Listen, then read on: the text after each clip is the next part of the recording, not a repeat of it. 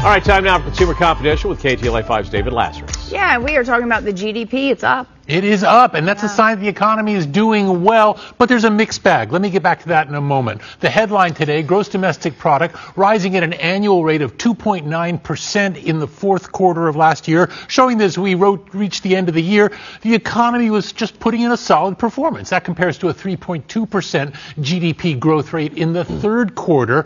Now, what this tells us that months of interest rate increases are having the desired effect of slowing down the economy and bringing down inflation, but not too much. It looks like that soft landing that the Fed was looking for is gradually taking shape. But as I say, there's some red flags here. First of all, the labor market is remaining fairly resilient, even though we've seen a flurry of recent layoffs, especially in the tech sector.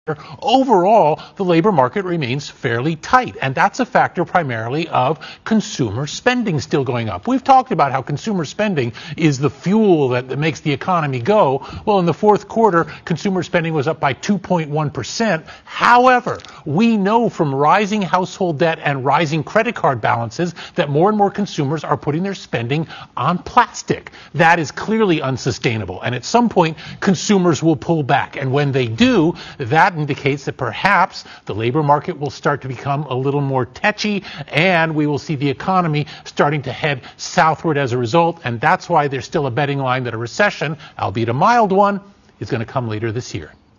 All right, Southwest, uh, no surprise, reporting a huge quarterly loss because of the recent flight meltdown at the end of last year. You, you saw this one coming, and today we got the news Southwest saying they lost $220 million over the last three months of last year as a result of that massive holiday meltdown that affected roughly 2 million passengers. It's a big deal. The carrier says that it expects to also post a loss in the current quarter as it digs its way out from all of this. CEO Bob Jordan once again apologized to Southwest passengers saying, oops, my bad, and said that the, the, the airline is working very hard to prevent this from ever happening again. Nevertheless, yesterday the Department of Transportation announced that it has launched what it calls a rigorous investigation of the Southwest meltdown. Southwest, for its part, says it will cooperate with authorities in looking into it.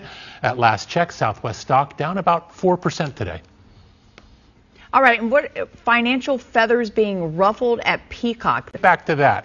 Today, Peacock, which is the streaming arm of Comcast's NBC Universal, reported that subscriber numbers in the most recent quarter were up, revenue was up, but profit, no, not so much. Nowhere to be found. In fact, Peacock is forecasting that it will lose about $3 billion this year, and it's not alone. Most of the big streamers, including Disney Plus, say that they are losing money as they invest huge amounts of, uh, of millions into new content, and they need the content to attract people. So you've got a business model now that isn't quite penciling out. On the one hand, yes, there's growth, which we've been seeing since the pandemic. At the same time, the monthly rates aren't high enough to cover that overhead. What does that mean? Most analysts say, obviously, this is going to mean rate hikes. HBO Max, for example, was charging 15 bucks a month for its ad-free service. Now it's charging 16 bucks a month. Many analysts say all the big streamers are going to eventually target $20 a month as the price, but obviously that's not going to sit well with consumers. If you go to KTLA.com, I'll have some, some tips on how you can navigate a pricier streaming landscape.